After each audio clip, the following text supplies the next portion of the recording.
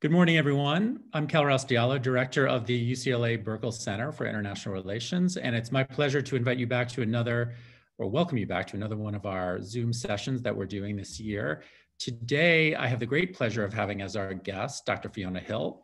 Um, I'm gonna introduce uh, Dr. Hill in a moment, but before I do that, let me just lay down our our ground rules and procedure, and also just let uh, those of you know who are interested in our in our series of talks uh, that our next talk will be on October 26th, which is, which is a Monday. We've traditionally done these on a Tuesday this fall, but it'll be a Monday with my colleague from the law school at UCLA, Tendai Achiume, who is currently the UN Special Rapporteur on Racism and Xenophobia. Um, so that'll be the 26th. So today, uh, in a moment, I'm going to introduce uh, Dr. Hill. Uh, she and I will have a brief conversation, uh, as we often do, and then I will open it up to questions from all of you. So please send your questions in using the Q&A feature. And I will pull from that uh, usually long list of questions and we'll run for about one hour. Um, so our special guest, some of you know uh, Fiona Hill from her recent testimony, uh, but she has a long career both in the US government, in think tanks, and in academia. Um, she's currently a senior fellow at the Center on the US and Europe uh, in the foreign policy program at Brookings uh, in Washington, D.C. Uh, and she's worked uh, in and around the US government for many years, though, as you'll discover in a moment, she's not. Um, well, I don't know if she is American now. She may be American now. She guess she is. Um, but she was not born in the United States. Uh, she'll reveal that through her uh, lovely accent. So she worked as senior director for European and Russian affairs on the National Security Council. Uh, and previously as a national intelligence officer for Russia and Eurasia uh, at the National Intelligence Council. Um, she's written several books, articles, uh, a book on Putin. She's a sort of Putin expert, uh, and generally an expert on Russia and Asia, which will be our topic for today. So, uh, Fiona, welcome. Thanks so much, Carl. That's really great to be here. Well, I'm really glad to have you. And uh, I know everyone is interested to uh, talk about a number of different things. And so, what I want to do is both talk about some current events um, with you and also uh, some things that we may see in the future, what, you know, some, some, some things to fear or, or, or hope for. Um, but I thought maybe what I would start with is something that's in the news right now and of interest, I think, to a lot of people in the, in the Los Angeles community, which is um, what's going on um, in Nagorno-Karabakh and um, the role of, uh, of Russia uh, in that, and also the significance for, for Russia and the West in that emerging conflict. So um, some, of, some of you listening and watching may know uh, there's been conflict in this kind of Armenian enclave. Uh, there's been protests here in LA about that. Uh, we have a very large Armenian community here in Los Angeles. Um, so I thought maybe we could just begin with that. And if you wanted to offer some thoughts on what you think is happening and is there a greater significance for how we should think about Russian um, Russian interest in the region and, and more generally. No, thanks uh, very much uh, for that, Carl. In fact, I was out in um, Los Angeles several years ago um, to take part in um, a meeting with um, Armenian diaspora groups uh, out in Pasadena, um, in fact, uh, to discuss Nagorno-Karabakh with another um, uh, regional expert and had a really fascinating set of meetings uh, with members of the Armenian diaspora in, in California many of whom come from very different uh, backgrounds. Um, I mean, most of us, first of all, should remember that um, the historic territories of Armenia uh, were much greater than modern Armenia, which was really the kind of a small province of a, of a much larger territory. Uh, and part of uh, the Armenian territory was taken over by Russia, absorbed into the Russian Empire after various struggles with the Ottoman and uh, Persian uh, empires. Uh, so Armenians were all um, over Anatolia. That was kind of like the sort of center of the Armenian heartland um, in what's uh, modern day Turkey, into Iran, uh, Syria and all over the Middle East. And, you know, the Armenian diaspora in um, Los Angeles really reflects that. There's also, as I learned, and I'd forgotten about that until I actually met with uh, some members of the diaspora, an Armenian diaspora extending up into the Balkans because it's where the Ottoman Empire had extended and Armenians, you know, often, you know, followed the migration tracks as well as now thanks uh, to, um, you know, the horrors of the genocide in 1915, large Armenian diaspora groups in the United Kingdom, where I originally hailed from in France, uh, other parts of Europe, and of course um, in the United States, as well as Lebanon and, uh, and, other, and other countries. So Armenia is an international issue. It's not just a forgotten uh, country um, sandwiched in between um, you know, Russia and, uh, and Turkey in the Caucasus. And the current conflict over Nagorno-Karabakh um, also has very deep roots. The most recent um, uh, outbreak of conflict really dates back to the fall of the Soviet Union. And in the late 1980s, when Mikhail Gorbachev um, had a number of Armenian, ethnic Armenian advisors in his group, and they were pressuring him to consider the future of Nagorno-Karabakh. As you said, it's um, uh, um, uh, an enclave within Azerbaijan, uh, which was another republic of the Soviet Union and then became an independent state. And the demography there was changing. You know, this is like in many conflicts, a majority group suddenly starts to find itself as a minority group or potentially as a minority group or losing that majority. And uh, due to uh, birth rates in the Azeri community in uh, Nagorno-Karabakh, the Armenians, you know, were kind of facing the prospect that they would no longer be the dominant group in, you know, several decades ahead and there was pressure to um, have Nagorno-Karabakh recognized as part of Armenia.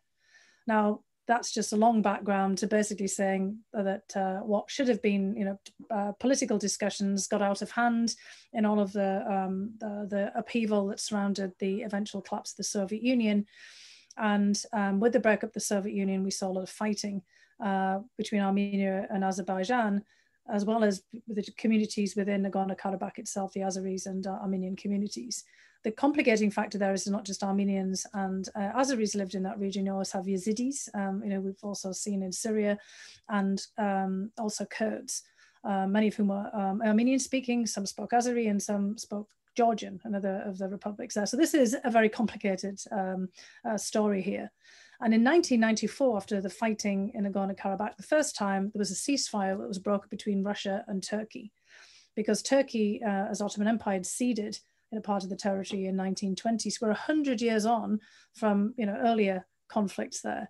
Now what we're seeing is a potential spat between Russia and Turkey over this. We saw that already playing out in Syria, where there's still a large Armenian community uh, as well as a large Kurdish community that uh, Turkey perceives as a security threat. We've seen Russia and Turkey at times come very close to confrontation in Syria, including at a time when the Turks shot down um, a Russian plane. So I, am telling you all of this uh, to the audience, many of whom know all this very well, and there's obviously a lot more detail and nuance to this to get across. This is a really complex situation. And in the past, the United States has played a very important role in helping to manage this conflict. We haven't done very well on resolution, but basically for the last 26 uh, years, we've managed to keep the lid on an outbreak of conflict until now and, and really things have got out of control, I would say, partly because of a vacuum. The United States has stepped back and not done very much. Uh, we've, we've always been um, constrained by the fact that we do have a very large Armenian diaspora, which is very important in our politics as well as in our culture and our communities. But we've also, you know, developed a pretty uh, good relationship with Azerbaijan, uh, particularly through energy development uh, in the 1990s and you know we've, we've had a hard time you know trying to figure out how to balance all of these interests off and to try to find a way forward. We've also had to work with the Russians and the French, who have a large um, Armenian diaspora, in a group to manage this, and we've just failed to find a solution. And as we've seen, frustrations have mounted in the region. There's also Iran in here as a factor. And up until now, the Iranians um, haven't really made uh, much comment. But Iran has very um, close relations with Armenia. There's Armenians in uh, the northern part of Iran and also with Azerbaijan, because the largest part of the population in northern Iran are actually, actually ethnic Azeris. So, and I think many of the members of the diaspora community in um, uh, Los Angeles area also come from Iran, as well as other parts of, uh, of the Middle East. So I can imagine that, you know, for people listening to this, to this is particularly painful. It brings in a lot of very bad memories, of course, from more than 100 years ago with the genocide in 1915, but also of all these previous um, outbreaks of violence, including in Syria, where we saw, you know, kind of a replay, you know, several years ago in the Syrian civil war of attacks uh, and also by you know, the rise of um, Islamic terrorism on Armenian, Yazidi, and other uh, Kurdish and other communities in the territory. So this is fiendishly complex, and we're not doing a very good job right now of getting ahead of this outbreak of conflict. And what is Russia's interest in this? I mean, I first of all, thank you for a wonderful overview of it. Uh, does Russia have an interest in a resolution, or in a sense, does Russia have an interest in fomenting more chaos, more conflict? It, it, seems oftentimes Russia seems to revel in that. So I'm curious about this particular case, and then more generally in the region. You mentioned Syria and other um, other conflicts, some of which are obviously much larger, long lasting. Um, does Russia uh, tend to have a kind of preference for chaos, and do we see that playing out in these different instances? Russia takes advantage of chaos um, because it wants to insert itself into situations to try to become the arbiter of the outcome or to prevent an outcome. You know, so I mean, in the case of Armenia and Azerbaijan, Armenia uh, and Russia are, are very tightly um, joined together still through a military defense agreement. Russia has a base in Armenia. Um, Russia also provides the border guards uh, for Armenia's borders because, of course, Armenia has contentious relations not just with Azerbaijan but also with Turkey, and is essentially landlocked and cut off apart from uh, the border with neighboring Georgia. It doesn't have a direct border with Russia, for example. And um, you know, Russia has also got a whole host of economic uh, treaties with Armenia as well, and is often messed about in Armenian politics um, uh, Russia's also been supplying Armenia with weapons. But at the same time, Russia's also been uh, trying to, you know, kind of uh, maintain a stasis in its relations with Azerbaijan. And uh, so Russia's been basically playing both sides off against each other. In 2010, it looked like the Russians were actually serious about trying to find um, a breakthrough in Nagorno-Karabakh on their own terms. But they, you know, um, hit the same wall everybody else has. It's just incredibly difficult to um, reconcile what are really maximalist claims on both sides. Um, you know, the Armenians in uh, Nagorno-Karabakh um, want to have a say, um, obviously, in um, the, what their future is. This isn't just a dispute between Armenia and Azerbaijan. Uh, forces, Armenian forces occupied uh, large parts of territory that were not previously disputed in Azerbaijan. Azerbaijan wants them back. Uh, Armenia um, has Nagorno-Karabakh as part of its tourist maps, as if you know Armenia was just fully part. Uh, uh, Nagorno-Karabakh was fully part of Armenia. There's all kinds of things going on here that are difficult to resolve. And I think the Russians prefer managed chaos because they would have to force a compromise. Both sides would be angry with them. It's much better to play them off against each other. The problem comes when now, when the conflict's got out of control, it's no longer managed chaos. And in fact, it's become potentially unmanageable. And now Turkey's in on the act. And as I said, we'll have to see whether Iran um, is, a, is a factor here too. The United States um, was a kind of stabilizing factor in you know everybody being able to play the United States off against everyone else as well. And we had a vested interest, obviously, in trying to stabilize this. We would have loved to find a resolution, but we honestly didn't have the wherewithal to bring that because there are too many different factors on the table here. And I think it is very similar in um, the Middle East, in Syria. Russia took advantage of the chaos of uh, the civil war, of the rise of ISIS and all the, um, you know, the, the terrorists uh, that um, took hold in Syria as well as in Iraq. And Russia intervened in the Syrian civil war to prop up Assad, but also to try to play this arbiter role. And now Russia's got itself a bit um, stuck in Syria as well. It's not bogged down. It's not a, an incredible, um, expensive operation. It's not like the Soviet Union, in Afghanistan, but it's also complex for Russia because they haven't been able to do what they wanted to do, which was put Assad back in power and get everybody else to pay for the reconstruction of Syria and to stabilize everything. And in fact, they've almost um, got into confrontations with Turkey at different points as well. And the US is not playing a very major role there either. And again, you know, when everybody likes to kind of complain about the United States and an issue when the United States isn't there, they have the responsibility. So I think Russia's now in the uncomfortable position that we've been in. It's like, okay, you know, how do we get out of this? How do we manage this? And how do we bring everyone along? So better to take advantage of chaos, but when you're actually managing it, you're supposed to get a resolution, then you find that it's much more difficult. So thinking about, uh, I guess, Europe and, and kind of the general relationship between Russia and kind of border bordering countries or, or traditional Russian sort of satellite countries in some cases, I'm curious about what you think the US should be doing. So you mentioned sort of a power vacuum in this particular context we were just speaking of, um, but it's a more general problem, of course, of the US pulling back and being erratically involved. Um, but thinking about the rise of so many illiberal regimes throughout the world, but particularly, let's say, in Hungary and other places, um, where the US and Europe generally have, um, have maybe a values based and other interest in seeing those countries return to uh, their recent, more liberal stances. Uh, but at the same time, if we push them too hard, maybe we're going to send them closer to Russia, which continues to have a strong interest in what goes on in Eastern Europe. So this seems like a very thorny problem that I'm sure you've dealt with extensively in your time in government. Um, what do you think we should be doing now about that? What what can we do to, um, or what should we do to make sure countries like Hungary don't drift even further uh, into? Well, look, I mean, I'll, I'll be honest that you know the, the reason that the United States was able to uh, lead in that region and to really kind of set the tone for all the things that you've described after the end of the Cold War is because we were seen as a beacon of, um, of values, of um, human rights. We were a great supporter.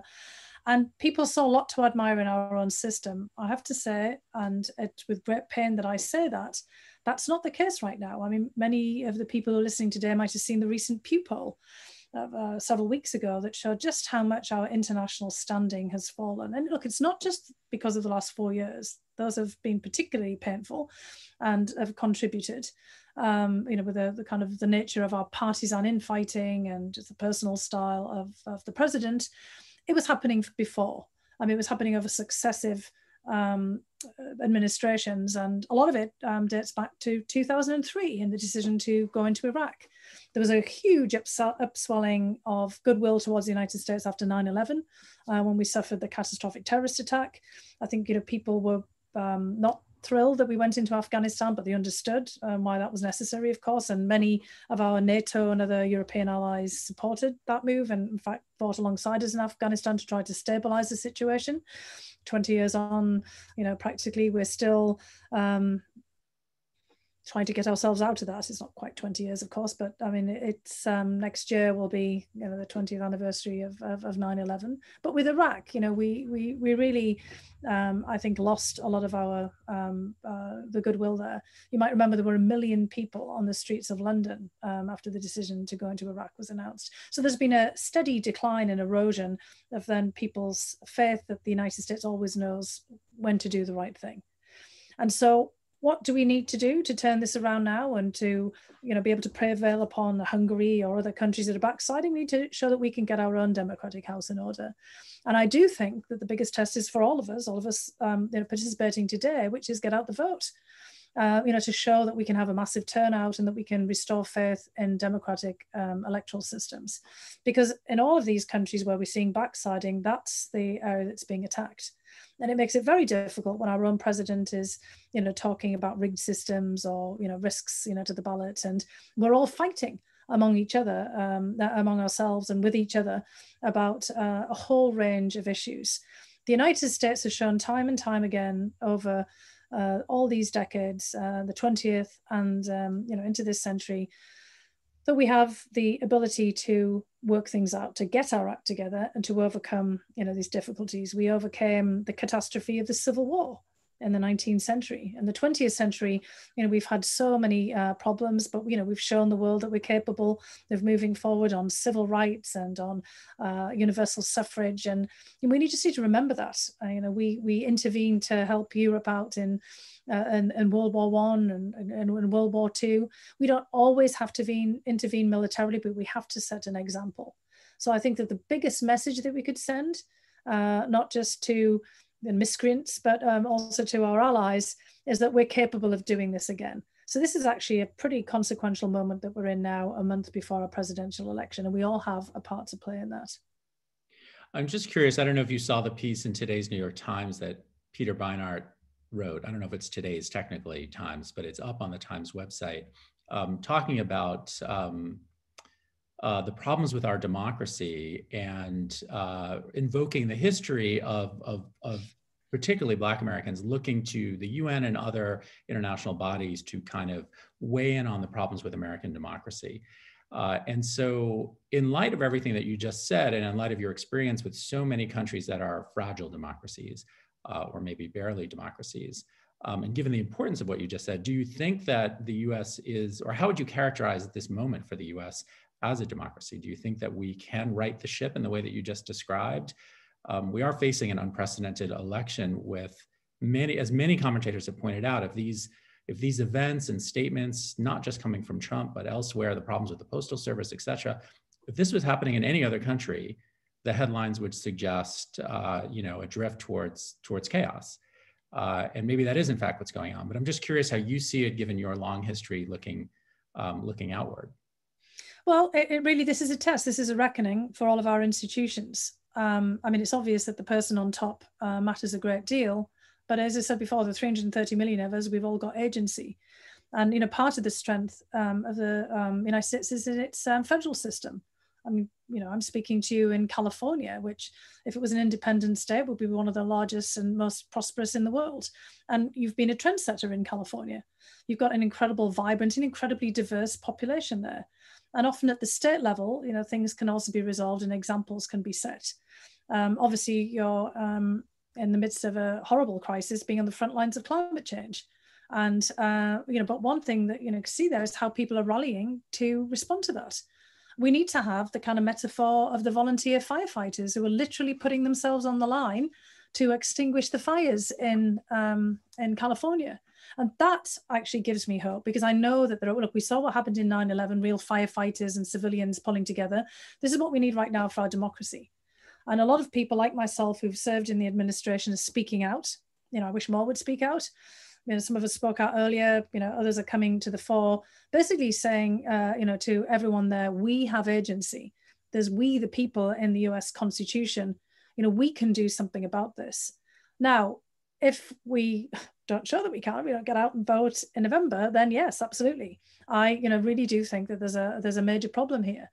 And I think, you know, I don't blame, you know, African Americans for appealing to a higher power in terms of the United Nations you know, actually in the United Kingdom, uh, not so long ago, there was a United Nations report on entrenched poverty. I grew up very poor in the north, north, uh, north of England, and it was like being a refugee in your own country.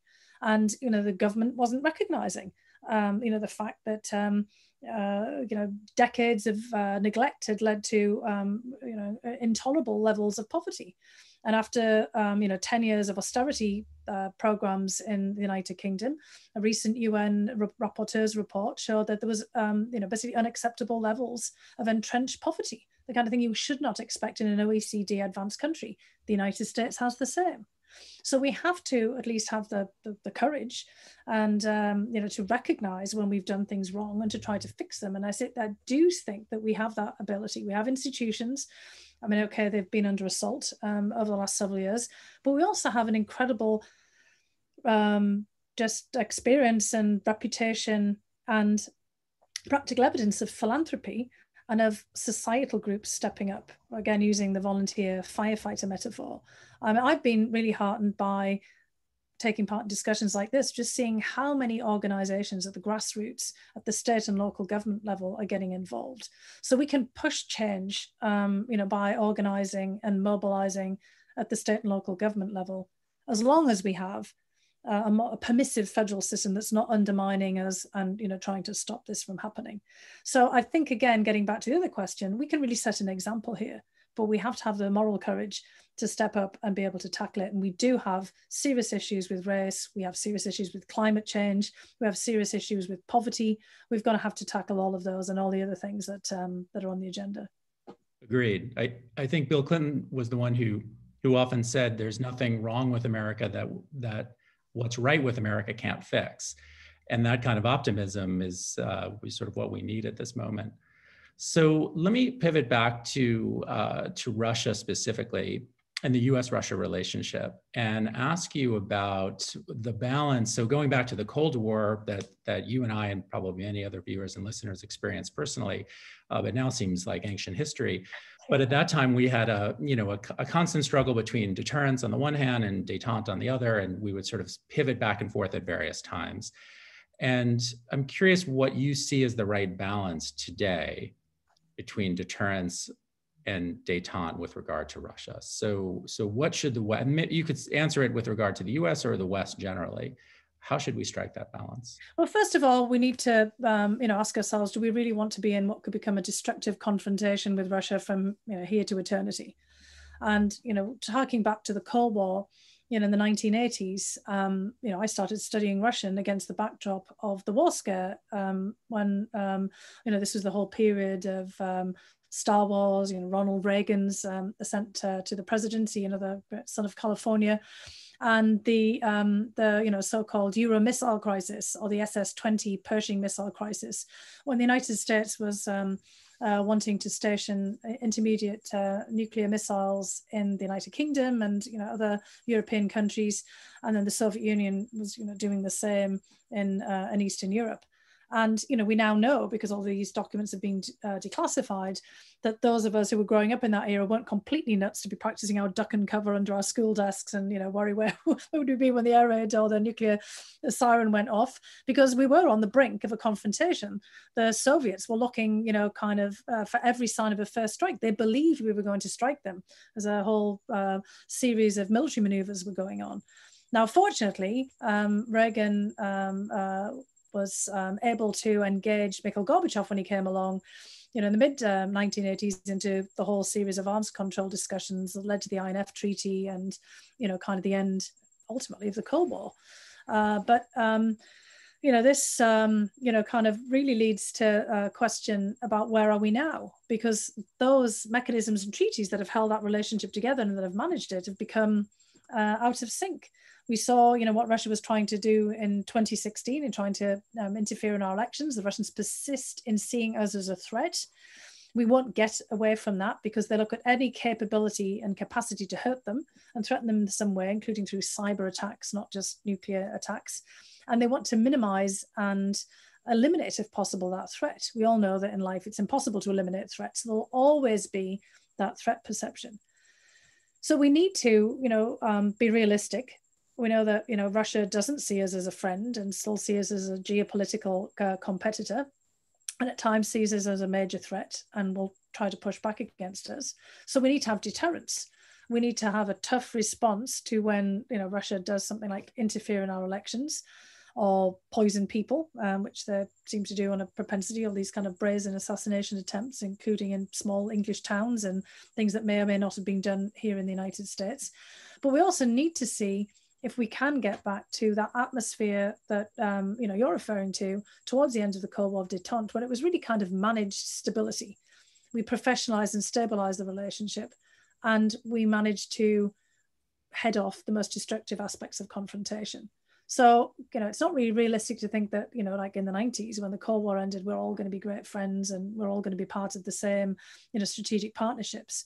But we need to try to see if we can stabilize. So we need to start with pushing back on what the Russians have done uh, of late, these new techniques or old techniques of propaganda mixed with cyber you know, techniques that they've um, used to attack us in 2016 and in other uh, actions. But then we have to try to find ways of sitting down with them on arms control and on other finding other mechanisms to stabilize a relationship so we can get back to at least um, an atmosphere of mutual restraint where we're not attacking each other all the time and that we can focus on some of the things like pandemics or fires. I mean, Siberia's been burning as well. And you might remember there was a point when the Russians offered to send, you know, they've got a long history in California um, over some firefighting, you know, equipment and planes over from uh, Russia. And, you know, we kind of batted that off as, you know, not being particularly practical. But if we could get into a mode where we could help each other out in extremis, that would be an achievement. So pandemics, climate change are issues that we need to tackle together. We need to find a way of prizing open a small door where we can cooperate on existential threats to both of us. It makes me think of in the 70s when the Helsinki Accords and talks were taking place, that was part of the impetus was to find things, I mean, maybe not existential crises, but find things that we could cooperate on uh, so yeah. that we could build cooperation for other things. I'm just That's curious, right. you mentioned in passing, which of course I completely agree with, that the 90s were a different time vis-a-vis the U.S. and Russia, and you said, well, we can't recapture that. Um, so why not? What what what what would you identify as the chief reasons why we we had a moment of closeness, uh, or at least some degree of it was a different thing after the end of the Cold War between Russia and the West, and uh, and that's gone. Um, is it because of the expansion of NATO? What are the reasons that you think it's never coming back? I think it was kind there was a sense of sort of euphoria that led to misplaced expectations of what was possible. You know, I think that, um, you know, certainly, um, I mean, I was working on all of this at the time on the Soviet side under Gorbachev. I mean, uh, we there was an effort to kind of bring the Soviet Union into, um, you know, Western mechanisms And, you know, kind of Gorbachev and others were pretty convinced that Western leaders at the time had promised there'd be no expansion of NATO, that, you know, Russia, the Soviet Union would be an equal partner.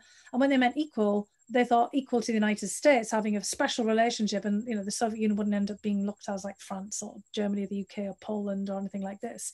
That there would be kind of special provisions for the Soviet Union.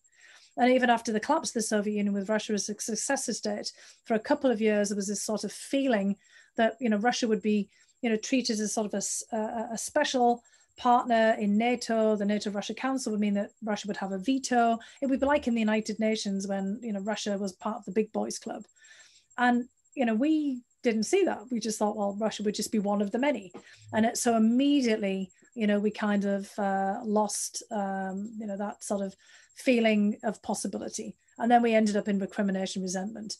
So I think, you know, we was can't. was that a mistake on on the part of the West? Well, I think that I think it was misplaced expectations on both sides, and then we we didn't really know how to talk to each other quite so well. We didn't, we didn't have the structures. There was a lot of assumptions made on both sides that you know proved to be.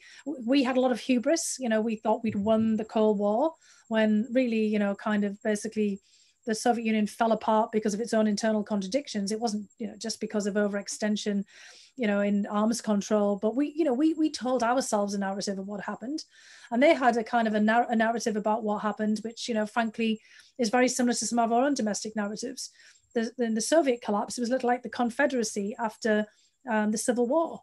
Uh, the you know Soviet uh, collapse led to people thinking it was a lost cause or if things could have been differently and that they were being mistreated. Some of the you know similar problems that we have in U.S. politics today and the politics of grievance emerged and we didn't address that head on. And um, you know, a lot of um, projections were made that were false, but you know, we, we weren't. I think we were also preoccupied with our own issues and our own interpretations of what had happened. We wanted the peace dividend. You know, we thought that we were, you know, kind of, um, you know, the the the, the um, you know, masters of a new universe. The you know the the end of history. Remember all of the things that were written at that point, and we didn't really perceive that actually we probably needed to do some rethinking and start from scratch, not thinking that all of our systems would prevail. So I think, you know, by now we've got a reckoning, you know, 30 years on. It's not just, um, you know, where we are with Russia, but where we are ourselves, because there was a lot of problems within the United States that we just glossed over. And, you know, we, we failed to deal with.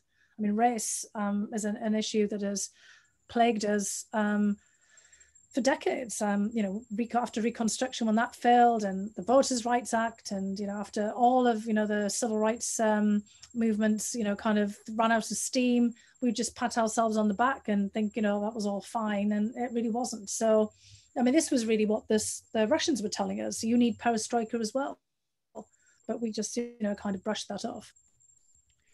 And you're a Putin expert you've written a book about Putin, you know about Putin at, at many levels, you've studied him for a long time. In light of the history that you just recounted, you know, one of the things that people often point to about Putin is that, you know, he witnessed this collapse and and maybe defeat, depending on how you want to characterize it, of the Soviet Union, uh, and um, you know wants to bring back and maybe arguably has brought back some of Russia's power, swagger, uh, uh, status and so I'm curious, and I know you wrote recently, I think it was in Politico with several others, you talked about um, kind of the US uh, Russia relationship. And I know you've noted that Putin has, in some ways, we can understand him in traditional Russian nationalist terms, that he's coming uh, from a strategic stance that is rooted in sort of some traditional things. And it made me think about Kennan writing early on in the Cold War and, and in, in the long telegram and sources of Soviet conduct. And Kennan spoke about the ways that um, uh, we could understand the Soviet Union uh, also in some traditional ways. And so I'm just curious, is there uh, is there sort of a through line that Russia has constantly uh, exhibited, even with different forms of government and different leaders? Um, is there a lot of com commonality or do we see something really different today in the way Russia behaves? No, there is a lot of commonality. I mean, Kennan's long telegram is just as fresh you know, now as it was back in the 1940s. I mean, it's a really a remarkable document. Uh, but you know, it really reflects that remarkable continuity in many respects. I mean, Russia um, is one of um, the world's oldest states. Um, even as an empire, it has survived when others have long gone. the Russian Federation today um, is still the largest country in landmass in the world, and um, it still consists of of regions that were you know kind of acquired uh, during uh, um, imperial expansion that kind of dates back centuries. It's, it's kind of a remarkable country. And, you know, again, you know, Russia had outposts in California, Fort Ross, and, you know, all the way down uh, California, different points. We're only a, an Arctic power because Russia sold us Alaska. You know, we have to remember just you know the the the, the vast uh, influence that uh, Russia had at, uh, at different points, and that is kind of you know also rooted in a mentality of being this big geographical uh, fact of life, as well as a, as a major player in multiple regions. Uh, that shapes a lot of uh, Russia's mindsets. Now, where Russia is different now than it was before is it's really its level of integration with the rest of the world, notwithstanding the fact that you know the Russia outposts in you know the uh, earlier times in California and Alaska. It wasn't that Russia was kind of out there on the international stage in the way that it is today, or its um, its people weren't. You know, you you had Russian emigres, but they tended to not kind of maintain their links with the old country. I mean, America also has a very large Russian diaspora, but you just don't really think about it because unlike the Armenian diaspora we were talking about, there's not kind of communal bonds. It's different waves of emigration. Uh, that come out of the Russian Empire, and obviously peoples of uh, different um, different ethnicities and you know different cultures, because it's again it's a multicultural empire. Uh, but what we do see now is much more, you know, kind of Russians, Russian students, um, Russian business people, Russian money, not just you know, Russian operatives, you know, running around all over the place, Russian culture, uh, not just the high culture, but um, Hollywood, you know, has had a lot of Russian directors uh, coming over. Um, you know, one of my particular favorites was um, uh, um, Abraham Lincoln Vampire Slayer, made by a Russian director who hailed from Central Asia. You know, again, a totally um, you know interesting phenomenon that we've not really had before. So this actually does raise questions from the future. Lots of continuity, like all countries have. But will that fact of kind of greater engagement since the end of the Cold War really lead to something over the longer term? We can't think that Vladimir Putin is forever. Some, you know, kind of cultural patterns um, are very persistent. Uh, geopolitical outlooks uh, tend to persist. But there is also, I think, a lot of opportunity for Russia to be over time a different country. And we shouldn't write off the possibility that at some point in the future, we could have, um, you know, the kind of relationship with Russia that, you know, I personally wish, you know, we'd had all along. It doesn't have to be like this. Great, great. I think that's a terrific um, point to, to pivot to the many questions that have uh, come in through the Q&A feature. And for those of you listening and watching, please continue to send in questions, but I'll be honest, there's quite a few and there's some good ones. So, um, so let me let me start off with those if that's okay. So, um, so first one is is related to some some current events. So uh, the question is, what role and interests uh, does Russia have related to yesterday's development in Kyrgyzstan? Uh, vote rigging, storming of the parliament, invalidation of election results, etc.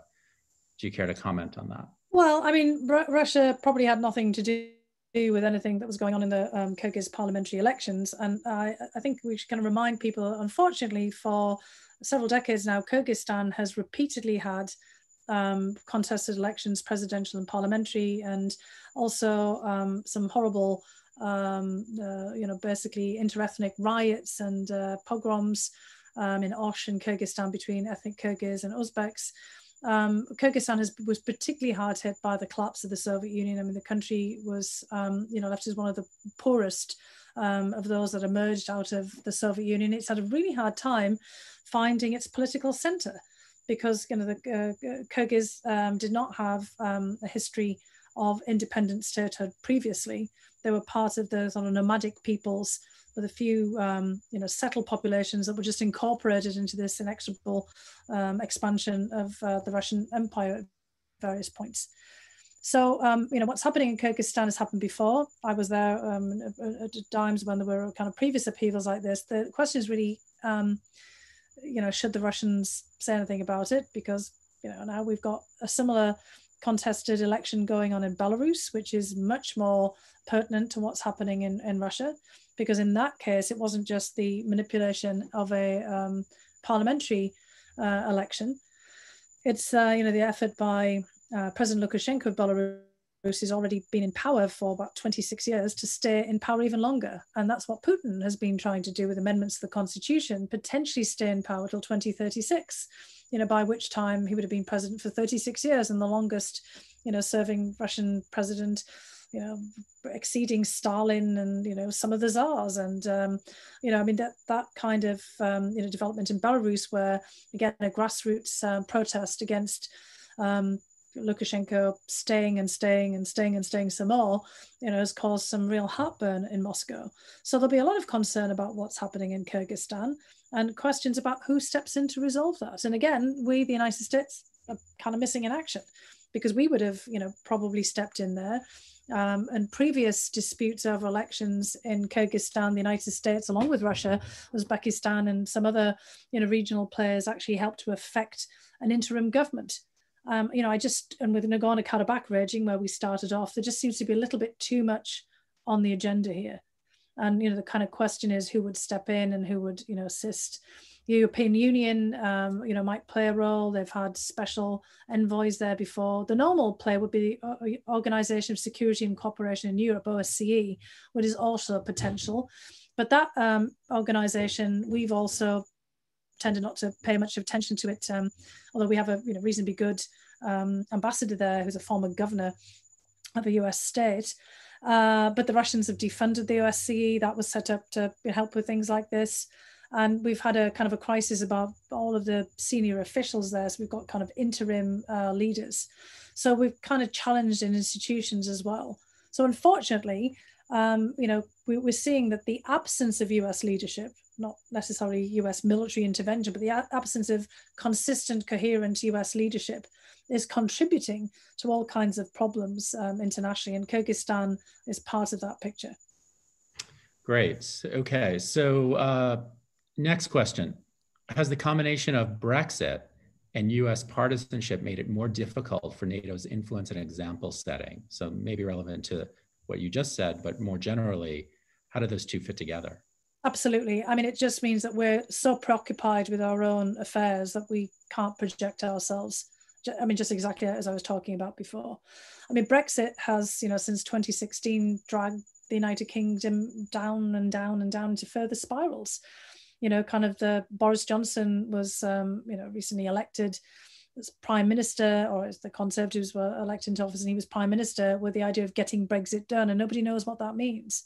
And it's just similarly here in the United States that we no longer know what our partisan fighting is about.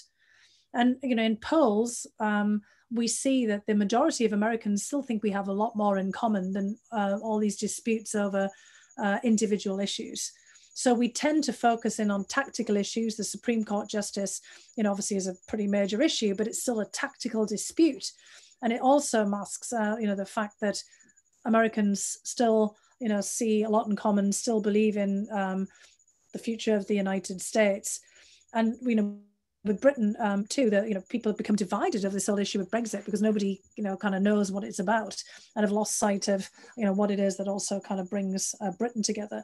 So we need to address that before we can you know really move on and uh, get our institutions like uh, NATO back up and running again. I think both the UK and the United States will have to recommit to NATO in the future, and we'll have to think about how NATO operates in a world that's no longer the Cold War, which you know we haven't really.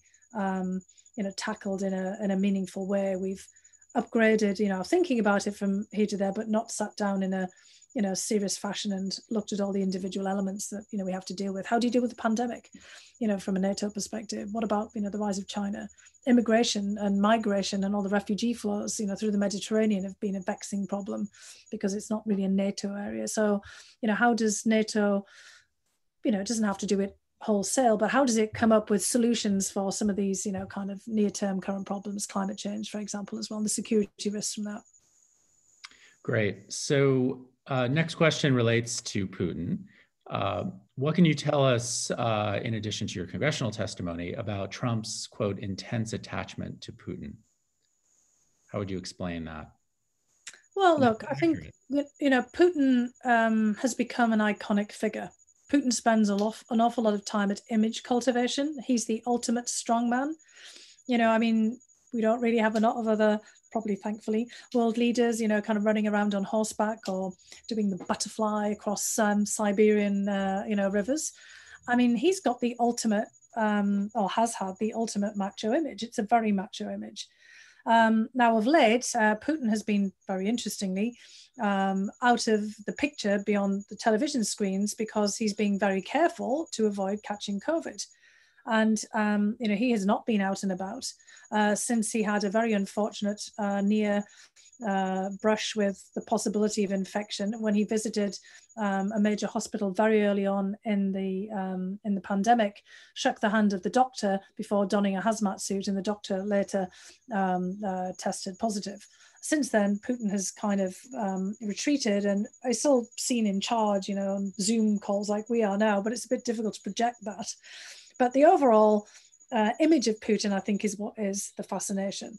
I mean, we've seen our own president, you know, kind of showing right now that he's not going to be defeated by COVID. Putin's not going to catch it in the first instance. Um, I mean, he's kind of showing a different uh, kind of message there, and he's been very focused on the science and, you know, kind of delegating authority and everything. But it's that image of the strong man, the the macho leader, and frankly, the biggest figure, along with President Xi, on the world stage that I think has been uh, part of that attraction. It's it not about Russia. It's not about Russia per se. It's about the image of Putin. Interesting. Yeah, it is fascinating that Putin has taken such a kind of rational approach to COVID, and and it does. I mean, you know so much more than I do, but it does seem like certainly based on what you just said and everything I've read, he's actually handled it, taken it seriously. Um, and if there was one thing I wish Trump would learn from him, it would be that. But unfortunately, Trump seems to have taken all the other lessons and not that one. There's a lot of other things that Putin does, by the way, is that he doesn't um, play on divisions uh, within the country because he knows that that's what brought down the Soviet Union. So um, he may go after, in a really brazen and horrible fashion, someone like Alexei Navalny, because you know Alexei Navalny is dangerous and uh, to him as a kind of a, a, threat because he actually also appeals to Russian nationalist base. But he's also not emblematic of all of the different groups that Putin needs to have as support.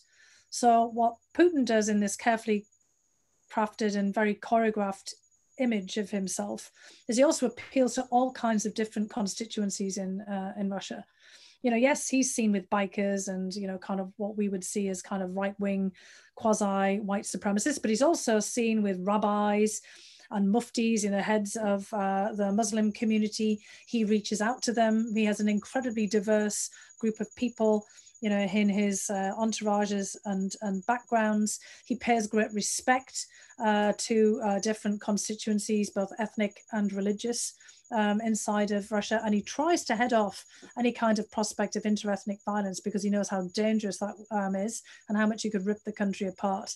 So Putin is actually very rational. When he appears irrational and he does the, you know, kind of wild man, you know, dangerous threat, Richard, Richard Nixon, you know, be careful, I've got my finger on the button routine, that is calculated, it's deliberate. Great, fantastic. So there are many, many questions uh, about the. Uh, I'll just pick one because it kind of gets to the core, which is how do you view the American, Russian, Chinese triangle?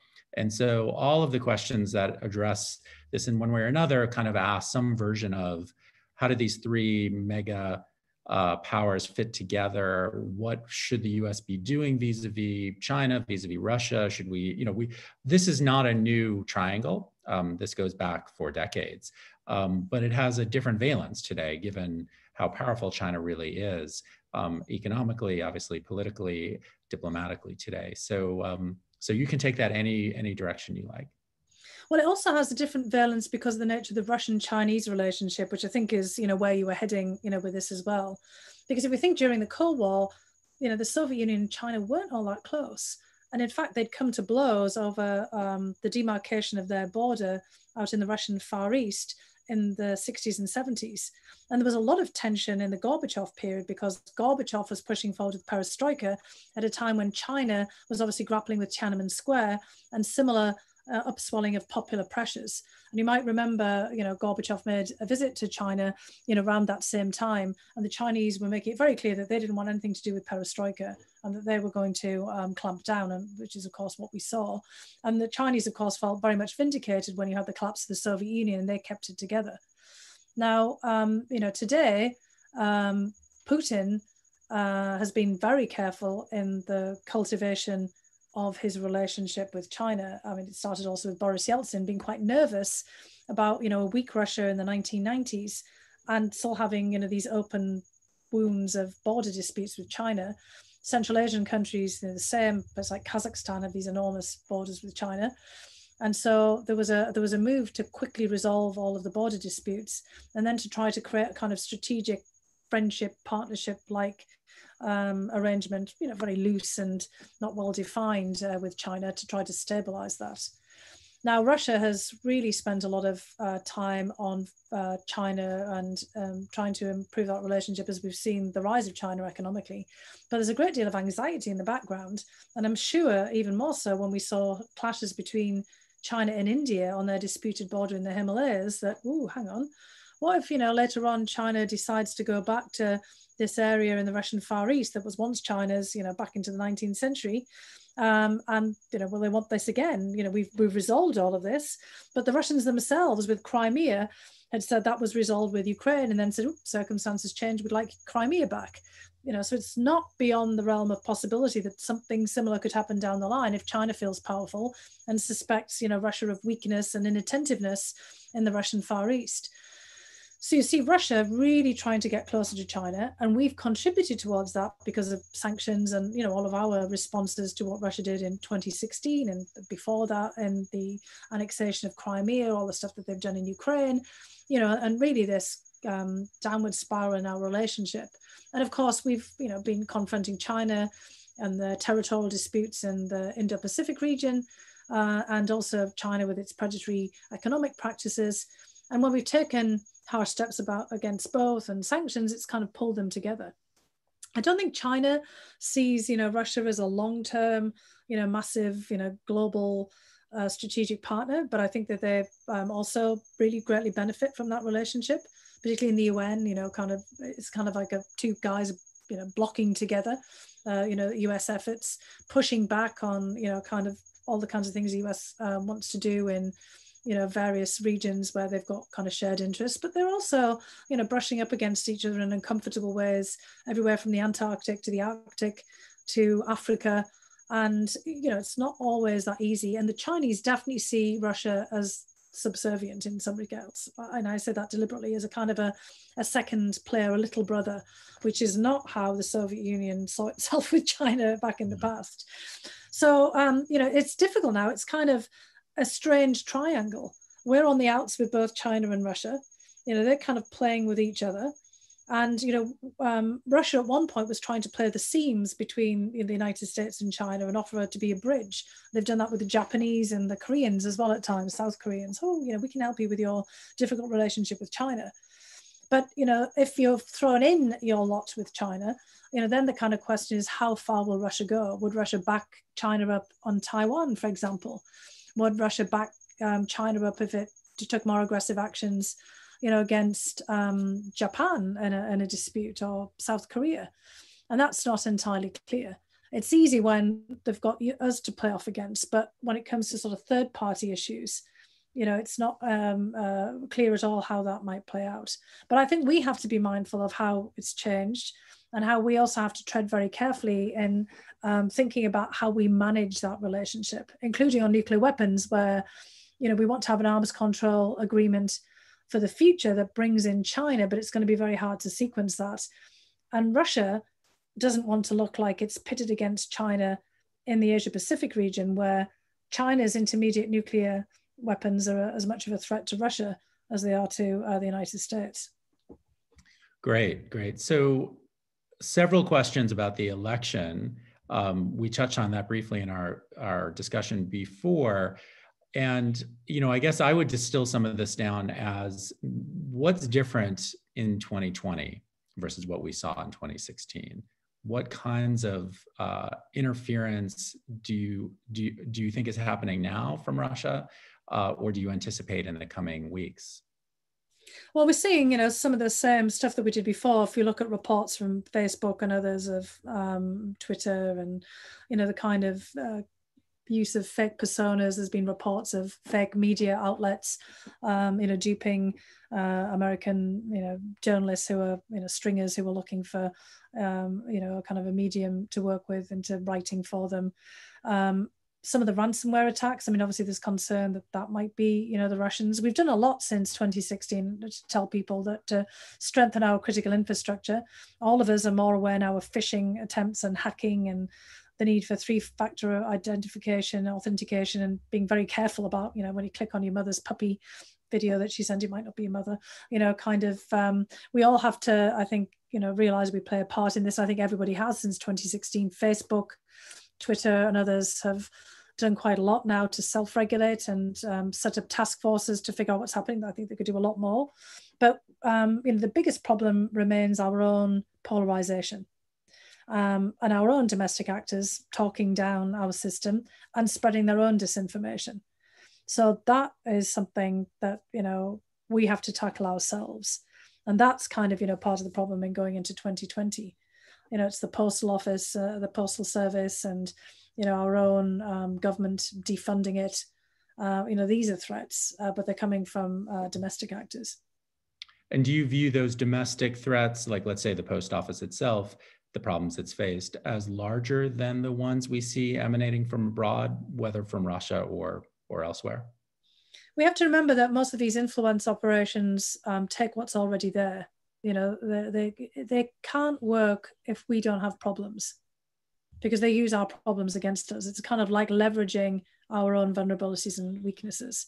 So the countries that fare best, you know, albeit small countries, you know countries like a Finland that you know their eyes are wide open, and this is a you know a country with a pretty tight um, uh, social um, compact and contracts. You know the, the, their institutions are pretty strong. You know the Australians were under attack from the Chinese, and they kind of pulled together to push this back and had a national uh, debate uh, about it. You know they they were experiencing the same kind of things that we had with Russia from China, and had to tackle it. You know it's a smaller population but a big country and you know they they face many of uh, the same problems. Um, you know there are other countries in Europe that have you know tried to tried to tackle this. So we we have to um, basically get our own act together and recognize that many of the vulnerabilities of our own making dirty money you know kind of uh, corruption. We have to self-regulate. We have to put into um, practice our own anti-money laundering uh, laws because you know the Russians take advantage of cutouts where they can you know pay proxies to do uh, various things as well clean up our act, you know, get rid of corrupt politicians. There are a whole host of um, legislative efforts going through Congress at the moment that try to tackle this.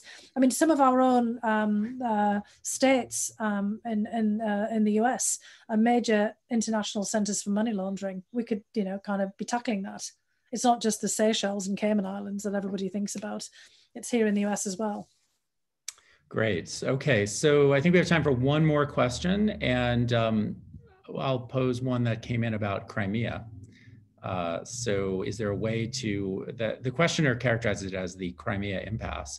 Is there a way to address that or what should the US be doing about Crimea? Well, this is definitely an impasse. I mean, what we should be doing is not forgetting that it's there.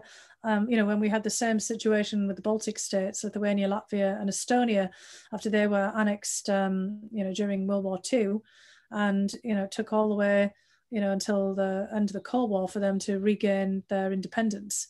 So, you know, it's not to say that um, there, there couldn't be a shift here.